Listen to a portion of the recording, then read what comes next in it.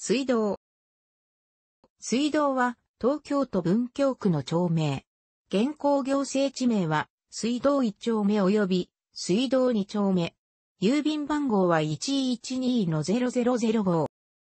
東京都文京区西部に位置し、東西に細長い町域を持つ。牧石通りから神田川に向かって若干傾斜する地勢的特徴を持ち、全域ともおおむね標高10メートル以下である。南は神田川、目白通り並びに、高架の首都高速5号池袋線を介して、新宿区と関口、北は牧石通りを介して、春日2丁目、小日向1丁目、2丁目、西は、音羽通りと江戸川橋駅を介して、音羽、関口、東は、神田川が大きく、向きを変えるあたり、対極交差点付近で、行楽2丁目にそれぞれ接する。地名の由来は、この地に、神田上水、現、牧石通りが通っていたことによる。江戸時代より、小日向水道町、小石川金杉水道町などと称していた。旧町名は、神田城水沿いを意味する、水道館が図書館の名にあるほか、西江戸川町と竹島町の名は、町改名に残っており、現在に至るまで、祭事や行事の単位となっている。江戸時代には、武家地や寺地が多くあり、近隣の居住者には、幕府から神田上水の停春を命じられていた。また、現在の町域に沿って流れる江戸川、現在の神田川は、石切橋より上流が清流であった。そのため、紙すき場ができて、神楽坂、相馬屋の初代が紙をすいていたほか、1881年、明治14年創業、昭和7年廃業の調整者により、江戸川を冠した巻紙や封筒、事例用紙、株式用紙等が作られた。1884年、明治17年頃から江戸川町の大海原帽子が植え始めたと言われる桜並木があり、近隣住民の協力もあって多い時には241本を数えるまでになり、小石川区内の一大名所として全市に誇るほどだったが、1919年、大正8年に刊行した護岸工事によりほとんど失われて知っている。その後の関東大震災では地域としてはかろうじて炎症を免れたものの、東京大空襲等戦災により焼け野原となった。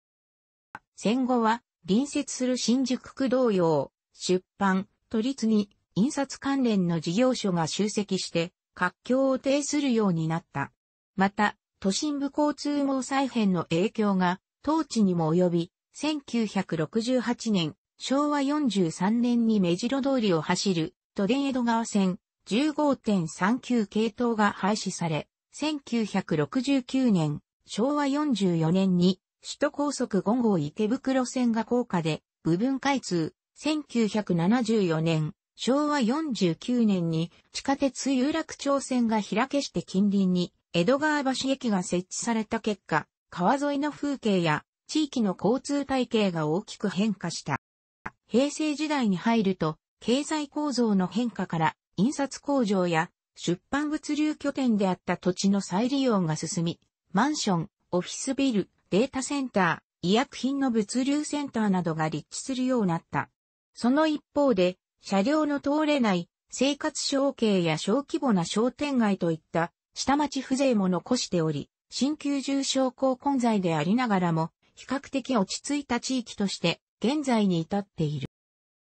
明治以降、この地には有島武雄が生を受けたほか、中村正直、内田露庵、中江町民、坪井茂次、広津龍郎、馬場古町、佐々木貴前といった文学作家等が今日構えたりした。大正時代に入ると、少年期の黒沢明が住み、かつて、長井家風も在籍していた黒田尋常小学校に通っていた。その頃、1920年、瞳延吉らにより、日本女子高等学院、現在の昭和女子大学が当地に創立、設置されており、当時の黒沢明宅と日本女子高等学院は同時期に西江戸川町内に所在したようである。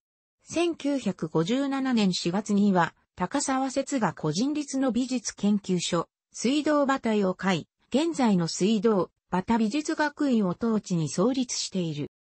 町内に鉄道駅はない。ただし、近隣には、東京メトロ丸の内線が、堀割、地上、東京メトロ有楽町線が、目白通りの直下を走り、町内とは、神田川、目白通りを開始江戸川橋駅がある。その他、町境から 1km 程度のところに、春日駅、後楽園駅、飯田橋駅及び、神楽坂駅がある。なお、その名称から、最寄り駅と類推され、安い、水道橋駅は、町境より 1.5km 程度の距離があり、飯田橋駅より遠方である。牧石通りには、文京シビックセンター、後楽園駅、春日駅から江戸川橋駅方面へと文京区、コミュニティバスビーグル、目白台、小日向ルートが運行されており、服部坂下からは、小日向を経由して、明賀谷方面への利用もできる。目白通りには、都営バス上69系統と、飯64系統が運行され、高田の馬場駅、小滝橋車庫、上野公園、球団下の各方面に向かうことができる。また、春日2丁目、都霊2系統、都霊2オツ系統や、江戸川橋、白61系統、上58系統も利用できる。なお、羽田空港、成田空港とは、ホテルグランドパレス、九段下、ホテル椿山荘東京発着のリムジンバスと、メッシ64系統、九段下ビーグル、椿山荘を乗り継ぐことで、階段移動なくクセスすることが可能である。2019年、令和元年8月1日現在の世帯数と人口は以下の通りである。区立小中学校に通う場合、学区は以下の通りとなる。金富小学校は集団登校を実施している。中学校は学校選択制度が採用されていることから、指定校以外の学校を希望することができる。ただし、明大中学校と音羽中学校は、指定区域外の希望者が多く、抽選を実施することが多い。町内全域に小規模な小売店舗、飲食店、コインパーキング、カーシェアリング車両の配置等が散在しているほか、個人委員も数件ある。旧町名に準ずる文京区の地域活動センターは町内には置かれていないが、所管区域は以下の通り。なお、小石川地域活動センターは区民サービスコーナー業務を行っていないため、文京区シビックセンターの関係部門を利用する。都市化が進んだ高度経済成長期以降、神田川の氾濫が幾度か発生した。昭和40年代には、地元町会が一致団結して神田川治水対策協議会を結成し、意見書の提出などによる当局への働きかけを行った結果、分水路等が建設された。平成になると、上流に神田川、環状7号地下調節池が完成するなど、洪水対策がさらに進んだことか、当地域における神田川に起因する水害は大幅に減少している。なお、花水橋付近設置の水位計が警戒、または危険水位に達した時には、サイレンが水明する。また、水道担当所管付近及び、小桜橋付近に、防災行政無線屋外スピーカーが設置されている。ほか、水道一丁目児童遊園に、苦節貯水槽がある。楽しくご覧になりましたら、購読と良いです。クリックしてください。